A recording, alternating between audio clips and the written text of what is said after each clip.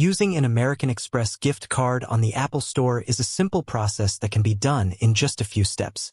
First, make sure your American Express gift card has enough balance to cover your intended purchase. Then, visit the official Apple online store at apple.com.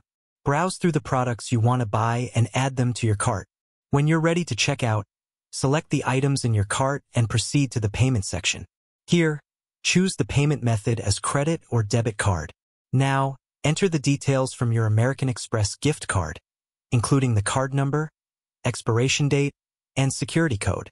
Don't forget to input the billing information associated with the gift card, using your name and address linked to the card. Review your purchase details to ensure accuracy, then confirm the transaction to complete your purchase. It's that easy. You can now enjoy your Apple Store items using your American Express gift card hassle-free.